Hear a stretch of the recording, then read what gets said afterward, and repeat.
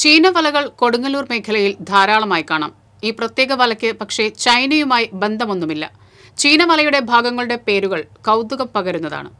മധ്യ കേരളത്തിൽ ഏറെ പരിചയമുള്ള വാക്കാണ് ചീനവല. ഉൾനാടൻ മത്സ്യബന്ധന മേഖലയിൽ ചീനവലയെ ആശ്രയിച്ച് ജീവിക്കുന്ന ആയിരക്കണക്കിന് കുടുംബങ്ങളുണ്ട്. ചൈനയിൽ നിന്നും എത്തിയ ഷെങ്ഹെ എന്ന ചരിത്രകാരനാണ് ചീനവല കേരളത്തിലെത്തിച്ചതെന്നാണ് അടുത്ത കാലം വരെ വിശ്വസിച്ചിരുന്നത്. എന്നാൽ ചൈനക്കാരുടെ പേരിൽ അറിയപ്പെടുന്ന ചീനവലയ്ക്ക് യഥാർത്ഥത്തിൽ ചൈനയുമായി യാതൊരു ബന്ധവുമില്ലെന്നതാണ് സത്യം. ചീനവലയുടെ പ്രധാനപ്പെട്ട ഘടകങ്ങൾക്കെല്ലാം തന്നെ പോർച്ചുഗീസ് പേരുകളാണുള്ളത്. ചീനവലയിലെ വല ഘടിപ്പിക്കുന്ന നീളമുള്ള നാല് മരക്കഴകൾക്ക് ബ്രാസ് എന്നാണ് പേര്. ചീനവലയുടെ നടുവിൽ രണ്ടു കാലുകളിൽ കുറുകെ നിൽക്കുന്ന ഉരുളൻ തടിക്കുള്ള പേര് കളുസാന്തി എന്നാണ്. വലയിൽ കുരുങ്ങുന്ന മീനുകളെ കോരിയെടുക്കുന്ന ചെറുവലയുടെ പേരാണ് ബോൾസ്. ചീനവലയിൽ കയറിൽ തൂങ്ങിക്കിടക്കുന്ന കല്ല് പദ്രാവോ കയറിന് പേര് ഇംബീസ്. അങ്ങനെ ചീനവലയുടെ ഘടകങ്ങൾക്കെല്ലാം പോർച്ചുഗീസ് പേരുകളാണുള്ളത്. എന്നുവെച്ച് ചീനവല പോർച്ചുഗീസുകാരനുമല്ല. വിനോദസഞ്ചാര കേന്ദ്രമെന്ന നിലയിൽ പ്രശസ്തമായ മക്കാവുവിൽ മത്സ്യബന്ധനത്തിനായി ഉപയോഗിച്ചിരുന്ന സംവിധാനത്തിന്റെ മറ്റൊരു രൂപമാണ് ചീനവല എന്നാണ് പുതിയ കണ്ടെത്തൽ. മക്കാവുവിൽ നിന്നും പോർച്ചുഗീസുകാർ മുഖേനയായിരിക്കാം ചീനവല കേരളത്തിലെത്തിയതെന്നാണ് നിഗമനം. കൊടുങ്ങല്ലൂരും കൊച്ചിയിലും ചീനവലകൾ യഥേഷ്ടം കാണാം. ഒരു കാലത്ത് പോർച്ചുഗീസുകാരും ഈ മേഖലയിൽ സജീവമായിരുന്നുവെന്നത് പുതിയ നിഗമനത്തെ ബലപ്പെടുത്തുകയാണ്.